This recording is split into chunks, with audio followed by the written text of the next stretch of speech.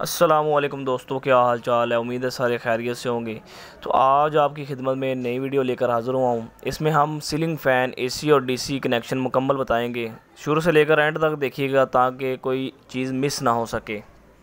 इसमें नीली और ब्राउन लाल जोन सी है वो एसी तार है और काली और लाल तार जोन सी है वो डीसी तार है। चलिए, हम आपको बताते हैं जो कि तीन तारें पंखे के अंदर से आती हैं। इसके साथ हमने किट को कनेक्ट करना है। तो दोस्तों, हम आपको साथ साथ फिटिंग का भी मुकम्मल तरीक़ाकार बताएँगे। तो दो नट लगे हैं, इसको आसानी के साथ आपने खोल लेना है। इसको खोलने के बाद किट की बॉडी जोन सी है, वो बाहर की तरफ़ आ जाएगी। इसमें हमने किट को एडजस्ट करना है। किट की बॉडी बड़ी आसानी से खुल गई है। तो तीन तारें पंखे में से आ रही हैं और तीन तारें किट में लगी हुई हैं। तो एक एसी तार है और दूसरी डीसी तार है। तो इसको हमने बाद में देखना है। तो हमारा पहला प्रोसीजर इन तीन तारों को कनेक्ट करना है। तो कनेक्ट करने से पहले ए, किट को इसकी किट वाली बॉडी में एडजस्ट करते हैं। तो बड़ा ही आसान तरीका है। इसको तारों को अंदर की तरफ़ धकेल देंगे। ये फिट आसानी से हो जाएगा। ऊपर की तरफ़ इसकी बॉडी को कवर लगा देंगे। ये देखें इसका लॉक लगा होता है। उसको दबाएँगे आसानी से फिट हो जाएगा। अब हम इसको एडजस्ट करेंगे तारों के साथ।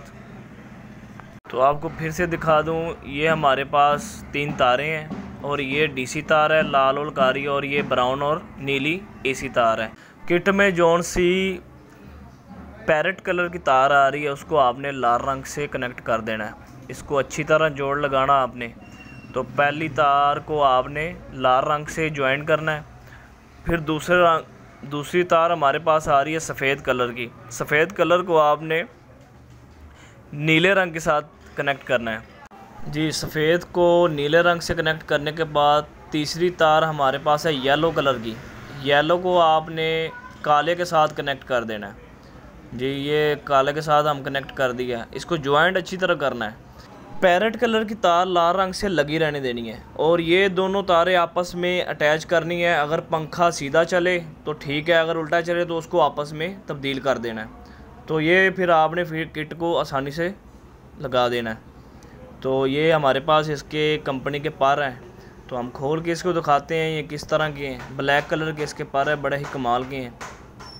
देखें जी ज़रा। जी दोस्तों, ये 6000 का एसी डीसी फ़ैन हमें हार रोड से मिला है। अगर किसी भाई ने ख़रीदना हो तो हार रोड से जाके आसानी से ख़रीद सकता है। इसकी तीन साल की वारंटी है। तीन साल की वेंडिंग वारंटी है, किट की वारंटी नहीं है। जी हम अब एसी और डीसी ज्वाइन करते हैं। सबसे पहले हम डीसी ज्वाइन करेंगे। काली को काली के साथ और लाल को लाल के साथ ज्वाइन कर देंगे। इस पर हम सोलर भी चला सकते हैं डायरेक्ट और बैटरी भी चला सकते हैं डायरेक्ट जो आपका दिल चाहे आप चला सकते हैं। फ़िलहाल हमने एसी कनेक्ट करना है। तो एसी को हमने दो काली तार लेकर इसके साथ ज्वाइन करना है।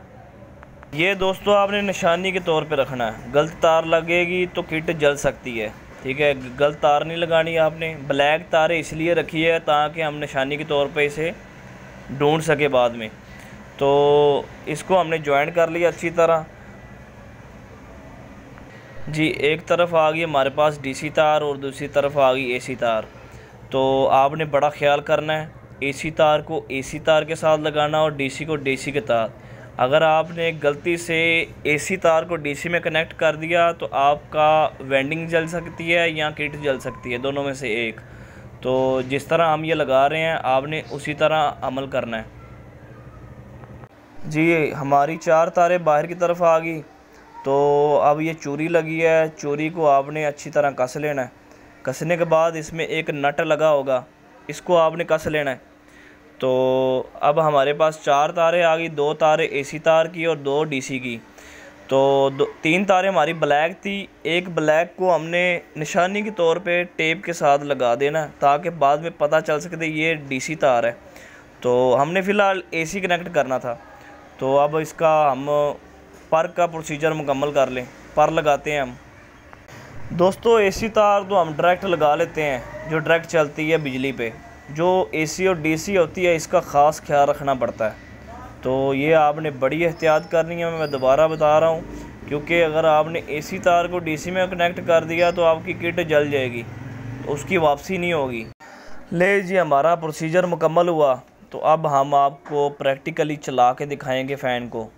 तो ये ए सी डी सी फ़ैन जो उनसा होता है, ये आस्ता आहिस्ता रनिंग करता है, बहुत ही स्लो चलता है। अगर आपका फ़ैन उल्टा चले तो आपने पैरेट कलर की तार को लाल से ज्वाइंट रहने देना है और दूसरी जो सी दो तारें हैं, उसको आपस में चेंज कर लेना तो आपका पंखा खुद ब खुद सीधा चलेगा। फ़िलहाल हमारा पंखा सीधा है तो ये ओके है।